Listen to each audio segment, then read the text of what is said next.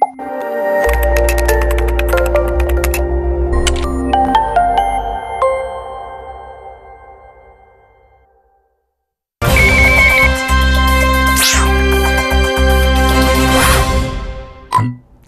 Olá, uma ótima tarde a você que se liga na tela da TV Câmara. Muito obrigado pela sua companhia, pelo carinho da sua audiência. Agora, meio-dia em ponto, nós falamos ao vivo do nosso estúdio para dar sequência à série de entrevistas com os candidatos a prefeito aqui do município de Jaú. E hoje, pela ordem do sorteio, nós recebemos aqui no estúdio o candidato pela rede, o Maurício Murgel. Candidato, muito obrigado pela sua presença, viu? Nós que agradecemos essa oportunidade, mais essa oportunidade de exercer a democracia de fato. Né? É muito importante para a cidade é, ter um espaço para a gente colocar uma proposta de uma cidade possível. Muito bem, o objetivo nosso é justamente esse. Eu quero lembrar o candidato e o pessoal de casa que o tempo total desta entrevista, a partir do momento que a gente começar de fato, é de 30 minutos. Você vai visualizar um cronômetro no canto inferior do seu vídeo, pessoal de casa, o candidato também, e o tempo começa a valer a partir do momento que o senhor iniciar a sua primeira resposta, ok? Ok. Muito bem. A gente começa essa entrevista falando de um tema que é a sua área, né, candidato? O senhor é biólogo, né, por formação, e a gente viu no plano de governo na questão do meio ambiente, que o senhor pretende criar um fundo municipal para o meio ambiente, também pretende inserir parques aqui na cidade, isso também já ajuda na questão do lazer, mas eu gostaria que o senhor falasse para a comunidade aqui de Jaú de que forma o senhor pretende transformar o meio ambiente aqui da nossa cidade. Bom, primeiro, obrigado mais uma vez, boa tarde Jaú. É, o Fundo Municipal de Meio Ambiente é uma obrigação legal, ela vem sendo discutida no Condema há várias gestões, né? desde a época do João Sanzovo, na, na, gestão passada, enquanto secretário, eu também fui presidente do, do, do, Condema e nós conseguimos formatar esse fundo. Esse fundo ele é fundamental para uma série de, de, de questões que a cidade é obrigada a fazer para, para o desenvolvimento. Né? E precisa passar pela Câmara. Esse é um fator bastante é, interessante, porque esse ano nós esperamos que a população atenta do, do jeito que está, que está renove a Câmara Municipal porque questões fundamentais, como o Fundo Municipal de Meio Ambiente, possam avançar. Né? Isso é crucial para o desenvolvimento da cidade. Bom, o senhor também fala a respeito da gestão dos resíduos urbanos aqui da nossa cidade, que é um problema para qualquer município uh, do nosso país. Né? Como é que o senhor pretende administrar essa questão? Também existe uma questão legal que a gente avançou bastante e, infelizmente, também nessa área já o retrocedeu, que é o plano de gestão de resíduos da cidade. As, cidades têm que desenvolver e apresentar esse plano. É, enquanto estivemos na secretaria, fizemos um estudo minucioso do resíduo doméstico de Jaú. Com uma grande parceira da cidade, que foi uma grande parceira nossa, que era a FATEC, nós fizemos um estudo científico do lixo. Inclusive, isso foi publicado. Isso serve de base para projetos que busquem verbas para a cidade na questão de reciclagem e tudo mais. É, a gente provou na ocasião que o lixo doméstico de Jaú, é, separando tudo que tem no caminhão de lixo, você classifica de fato, você consegue mensurar os valores daquele material, quanto é jogado fora. E a gente conseguiu provar que Jaú joga cerca de meio milhão de reais por mês no lixo. A gente sabe que gasta quase metade disso para levar tudo isso embora. Né? Então, se você somar grosso modo, dá quase aí um milhão, oitocentos mil reais, um pouco mais, é, de materiais que poderiam estar gerando emprego, renda e a gente está gastando muito menos para levar embora. Isso só na questão de, de, do resíduo doméstico. Né? Depois nós deixamos aprovados para Jaú também uma usina de reciclagem de resíduos da construção civil. É, os estudos provam que a maior parte das cidades, o resíduo da construção civil ele é uma vez e meia o resíduo do, do, lixo doméstico. Então, a grosso modo, se produzimos aí cerca de 100 toneladas, produziríamos 150 toneladas de entulho. Hoje esse entulho já o vive tomando multa, ele é depositado, descartado de maneira completamente irregular, comprometendo ah, o meio ambiente, comprometendo áreas por toda a cidade, esparramando escorpião, aranha e outras ah, questões de zoonose. E ele poderia estar sendo transformado, como um projeto que nós deixamos aprovado, que eu, que eu vou explicar, é, que geraria emprego e renda. Nós deixamos aprovado uma usina de quase 2 milhões de reais no Ministério da Cidade. Justamente aí que eu queria chegar. De que forma transformar? A gente sabe que para isso precisa de recurso. Exato. Seria através de recurso do governo estadual, federal Exato. ou uma parceria é. público-privada, por exemplo? existem janelas. Quando fizemos uma secretaria técnica, e a, a, a gente viu que esse é um modelo que o governo tem que ser técnico. Por quê? Porque com técnicos, você tem as janelas de projeto não só nos ministérios. A usina nós aprovamos no Ministério das Cidades. Saíram verba, aprovou no Brasil inteiro seis cidades. A quatro, saiu verba inicialmente para quatro cidades e duas ficaram na fila. Nosso projeto estava aprovado, eram 2 milhões de reais, a gente receberia o equipamento pronto, estaria funcionando, produzindo bloquete, sarjeta, banco de praça, enfim, uma série de equipamentos e resolvendo um problema muito sério, além de gerar emprego e renda. É, é um equipamento pronto, né? era um projeto técnico. Então, se você tem projetos técnicos, nós aprovamos um plano de drenagem, conseguimos colocar a Jaú para receber as verbas do PAC, tudo isso é um trabalho bastante é, longo, minucioso e técnico. Você faz todo um diagnóstico, tem planilhas, tem cronogramas. A gente hoje vivencia uma atualidade que não há sequer nenhum projeto técnico sendo apresentado ou desenvolvido. É um, um absurdo a gente vivenciar isso nos tempos de hoje. Porque é difícil o investimento? É difícil, mas eles existem. Todo mundo sabe que uma boa parte dos investimentos possíveis, eles caducam nos ministérios, porque as cidades não apresentam projetos. A gente conseguiu apresentar projeto. Tanto conseguimos que trouxemos as verbas do PAC, que infelizmente foi completamente desvirtuado. É uma das principais razões de eu ter abandonado, ter desistido do governo passado. É, só para o pessoal de casa se situar, o Maurício Murgel ele foi secretário de meio, ambiente, de meio ambiente, na gestão passada, né, Exato. né, Maurício? Muito bem. É, a gente sabe que você também é um entusiasta na questão da arborização, né, dos parques. É, hoje nós temos o Parque do Rio Jaú e no seu plano de governo você diz que pretende implantar o Parque da Lagoa Preta e também o Parque da Marambaia. De que forma, com qual recurso, Maurício? Exatamente na questão da parceria e na questão do projeto técnico. Você elabora o projeto técnico, busca as parcerias e vai atrás de verbas. Existe verba para esse, tipo de coisa. Na questão da Lagoa Preta, a, a Lagoa Preta, que é um patrimônio natural da cidade, na verdade ela está inserida numa, numa. São áreas particulares em volta. Qual é a PPP no caso? Primeiro, um projeto de parque para pegar o financiamento. O segundo é trazer os proprietários dessas áreas hoje, eles sofrem com, com esse patrimônio natural. De qual forma? Eles são, eles têm que preservar, só que eles não conseguem cuidar do lugar. Você transforma um lugar que potencialmente é uma área de lazer numa PPP. Eles vão lucrar com isso. Hoje eles têm que gastar para tentar manter um negócio que está muito perto da cidade. As pessoas vão lá para se divertir, não há estrutura alguma, então pega fogo na cana, deixa lixo, é, as pessoas podem inclusive se afogar ali. Você transforma isso num parque junto com os proprietários. Você faz o projeto, oferece a infraestrutura que a, que a prefeitura consegue oferecer, busca esse recurso, a gente sabe que o recurso é curto, mas o recurso existe. Ele precisa ser buscado na forma de projeto, é, em todas as áreas. A, a mesma questão, o Parque Intermunicipal da Marambaia.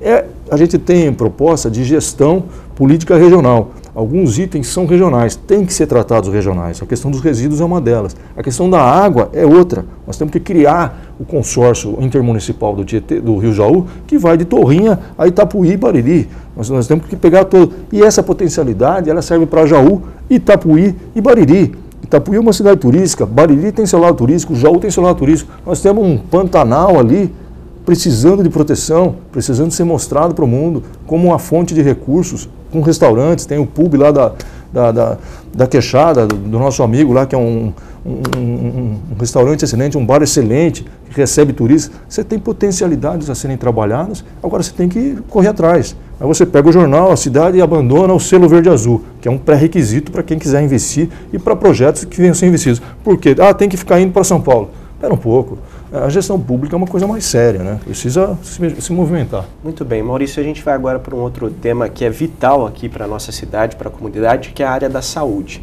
Certo. No seu plano de governo você coloca que pretende criar novas unidades de saúde. Seriam unidades para atender a rede básica, postinhos, ou o pronto atendimento. A gente sabe que tem uma UPA né, que está construída, Exato. mas ainda é, há uma necessidade, assim como em outros municípios, da contratação de mais profissionais da área da saúde. Exato. Como é que você pretende administrar essa questão? Eu tive uma aula essa semana com um profissional, né, que é o doutor Abdala, foi secretário na mesma época que eu fui secretário, e ele lembrou de vários projetos, inclusive a informatização da saúde. A informatização da saúde é crucial. Estava sendo financiada pelo Ministério. Esse projeto também foi abandonado. Nós perdemos, já o investia 49 milhões de reais em saúde passou a investir 29. Dizer, o, o, corte em saúde foi significativo.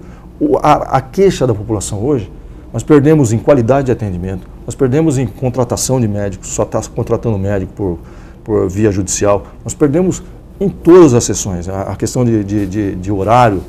E os PAS, com projetos técnicos e contrapartida, negociando, por exemplo, vai abrir um, vai fazer um, um bairro. Isso, isso, isso eu presenciei, isso é possível. A construtora vem, qual é a contrapartida que ela vem para a cidade? Olha, nós precisamos nessa região de um PAS, nós precisamos naquela região de uma creche. Nós perdemos seis creches. Jaú perdeu seis creches e perdeu um hospital.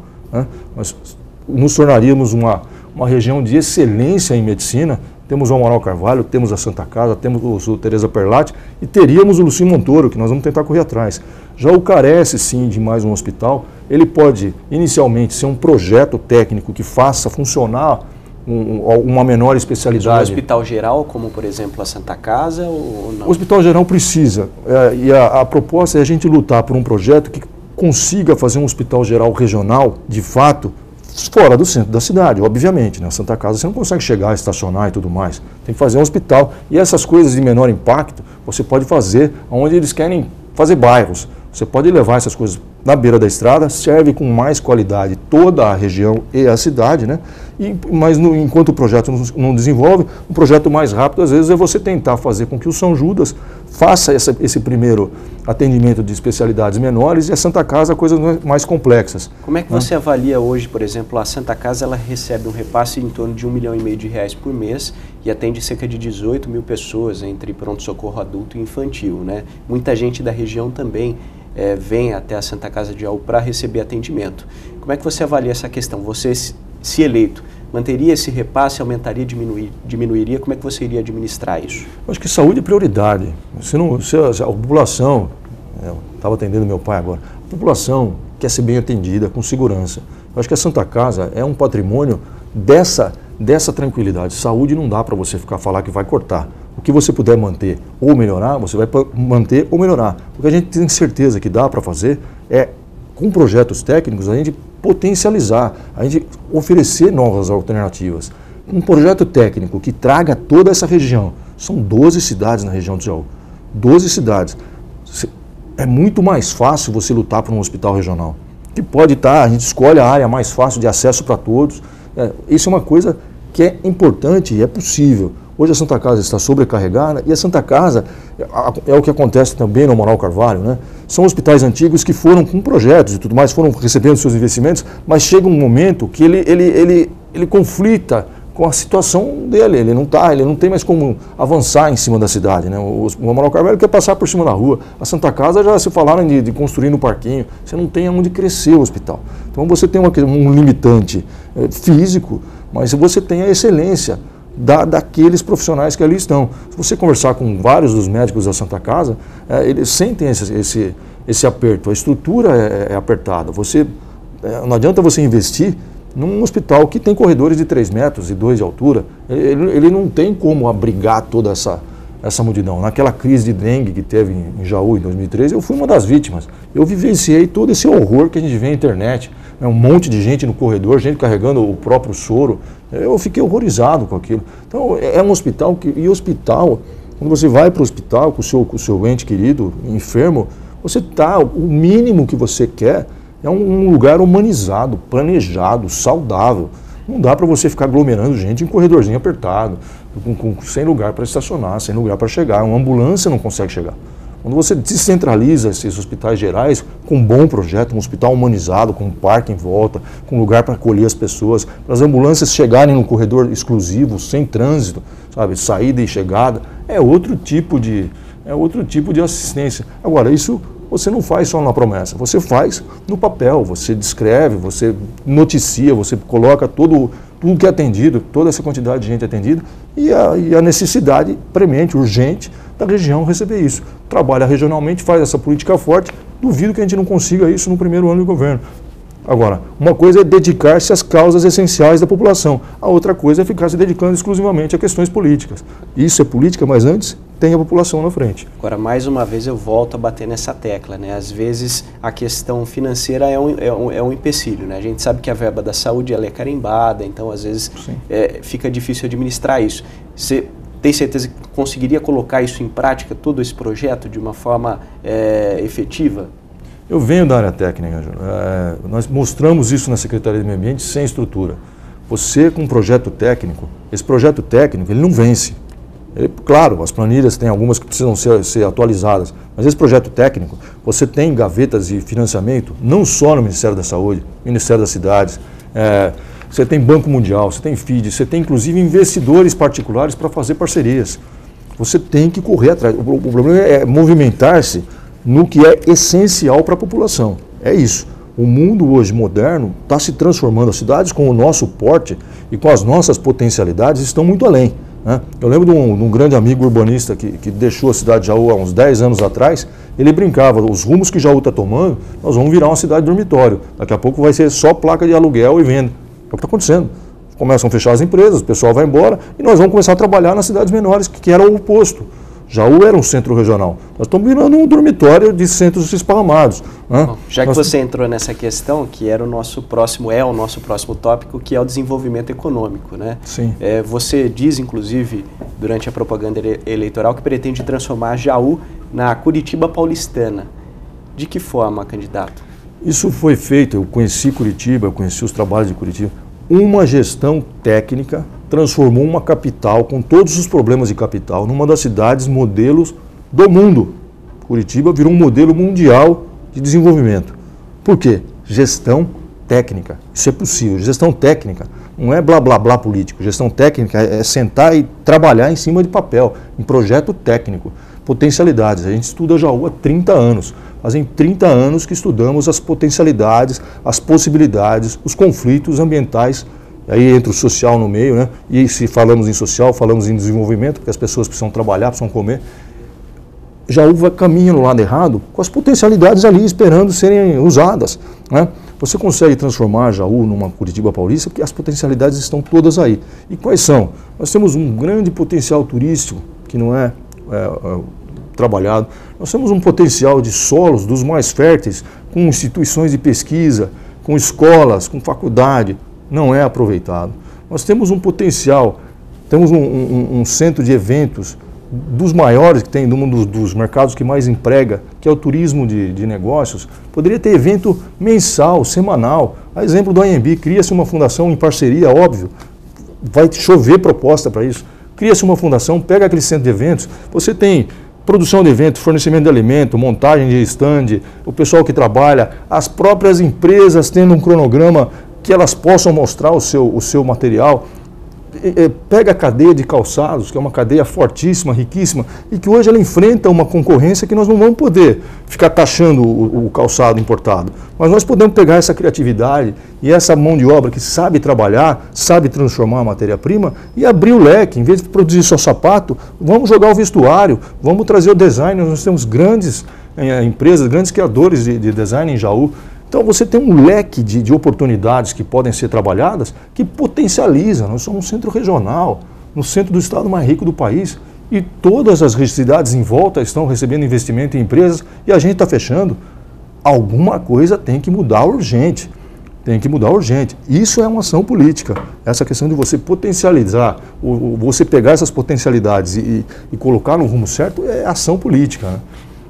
E, as suas propostas é, ainda nessa área da, do desenvolvimento econômico para o distrito de Potunduva? Esse é um pedido já antigo, inclusive, sim, da população sim. de lá. É. Eu, eu, tenho muito carinho pelo distrito de Potunduva. É, eu fui um velejador, eu adoro rios e tudo mais. Falamos agora da Lagoa Preta.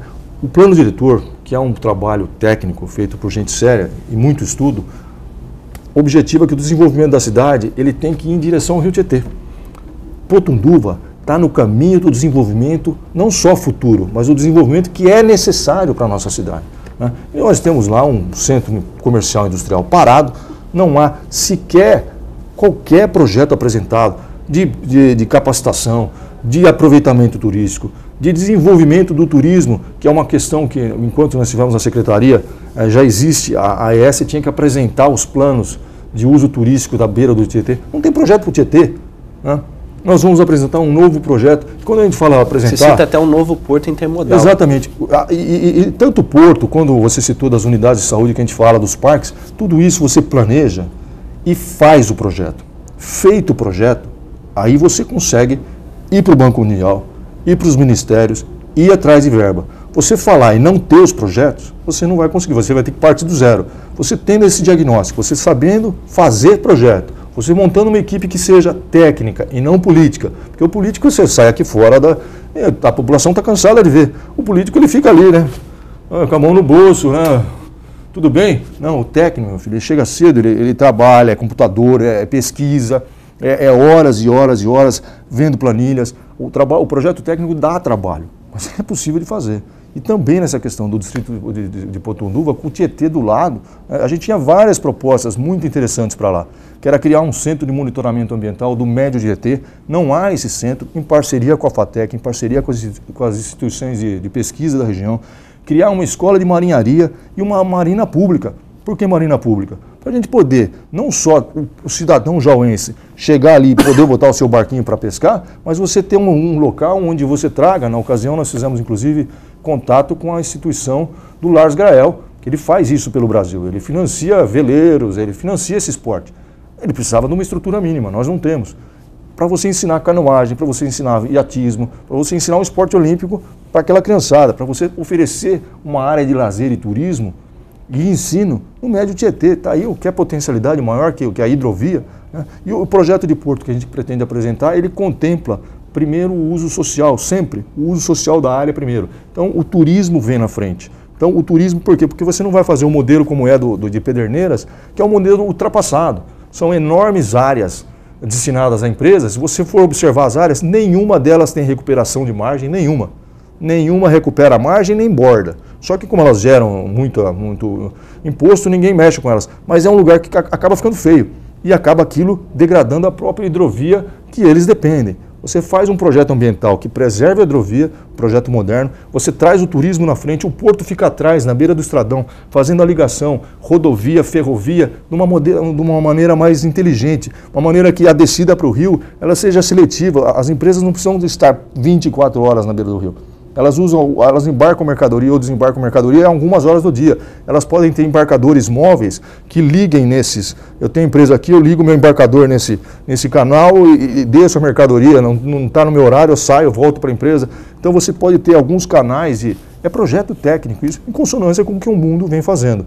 O, hoje o mundo, Ângelo, com, com, com globalização, você consegue copiar projetos técnicos dos melhores, das melhores tecnologias, mundo afora. É só dar uma googada para ver o que as cidades do nosso porte estão fazendo. E poucas têm, poucas têm as potencialidades que temos aqui para desenvolvimento. Bom, ainda nessa questão da geração de emprego e renda, né, do desenvolvimento econômico, nós temos também a área da agricultura, que é muito Sim. forte. Hoje nós temos o predomínio da monocultura, né, a área Sim. de plantação de cana-de-açúcar. Quais são suas propostas para esse setor? Você pretende incentivar a agricultura familiar, pelo que eu vi no seu plano de governo, Sim. mas pretende também dar um incentivo para esses agricultores que hoje estão nessa na, na monocultura, que é a cana-de-açúcar? O que você pensa a respeito? É, primeiro, é, até o último encontro agrícola que teve na, na cidade já pregou isso. A diversificação ela é não só benéfica para o agronegócio como um todo, mas ela é necessária. Né? É, a gente tem uma potencialidade de solos férteis que poderiam, hoje a agricultura mecanizada, ela locais mais, mais íngremes, a pequena propriedade, ela acaba não sendo tão interessante para essa agricultura de larga escala. Porém, nós temos uma, uma potencialidade de produção de alimentos, de medicamentos. Eu trabalhei com plantas medicinais é, dentro do Instituto Florestal é, e a gente provou que alguns medicamentos em Jaú produzem com uma qualidade excepcional. Nós temos a produção, é, a questão do, da geração do turismo rural. E, e, a agricultura é uma das propostas antigas que a gente trabalhava, que era a criação de uma zona agroambiental. O que é isso? Você pega, é, descendo, imagina aqui a TVS descendo o trevo que vai Colégio Agrícola, pega IAC, Instituto, Instituto Agronômico de Campinas, o Instituto Florestal no Pouso Alegre, pega o Colégio Agrícola, que tem uma série de projetos em parceria que a gente tentou fazer, que são possíveis de serem feitos, é só questão de ação política, toda essa região, que já foi uma das primeiras reformas agrárias do Estado e tem solos dos mais férteis da nossa região, e cria uma zona agroambiental ou agroecológica de, de implantação é, gradativa. Você não vai proibir ninguém de usar agroquímico ali, mas você vai incentivando a produção de comida orgânica, a produção de medicamento, a produção de plantas ornamentais. Incrementa no Colégio Agrícola, que é um projeto que nós tentamos fazer, é possível, a fábrica de árvores. A fábrica de árvores é um mercado que está crescendo, por quê? Porque as cidades precisam arborizar.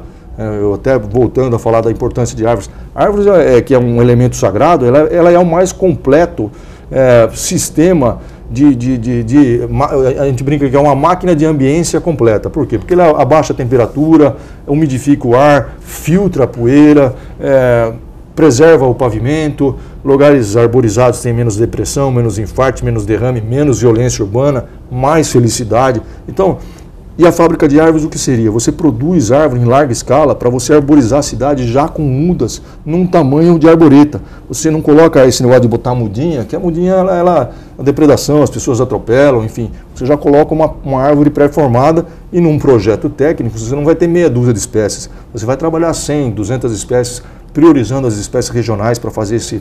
Então você tem uma série de potencialidades na agricultura que precisam... Agora o que nós vimos? Nós vimos inclusive a Expo morrer. Acabou a Expo, não tem exposição agrícola em Jaú. Tudo bem, a Expo pode ser potencializada nessa questão. Imagina uma Expo regional ou uma feira regional que potencialize a, a, a culinária rural da, da, nossa região, que é uma coisa famosa, que potencialize a produção orgânica da nossa região, pega essa produção orgânica, coloca nas escolas, faz um, um, um conjunto regional. Você tem muita, muita coisa para trabalhar. Candidato, o senhor falou aí de escolas, né? A gente vai entrar num tema agora que eles se completam, que é educação, sim, sim. cultura e esporte. Sim. O senhor pretende implantar escola em tempo integral? Aliás, a educação está sendo debatida agora, é tema nacional, né? Quais são suas propostas é. para essas três áreas? Ah, é a partir de quando, em meio ambiente, é, isso é uma, uma, uma, uma questão que todos sabem, a principal arma da preservação ambiental é a educação. Então, se a gente propõe transformar uma cidade, a principal ferramenta que dispomos, que é uma potencialidade que nós vamos trabalhar, são as escolas. Então é um projeto que já tem é, quase 30 anos também, a gente vem formatando esse projeto, que é dividir a cidade em setores. Esses setores têm como se fossem subprefeituras, né? mas a gente quer dar mais valor do que isso. As escolas, com suas características de bairro é, localizadas, as suas individualidades, as crianças, as escolas exercerão um papel de ecologia ativa. Qual é esse papel? Primeiro que no turno normal, as crianças vão estar na carteira. Não tem carteira para ficar criança o dia inteiro.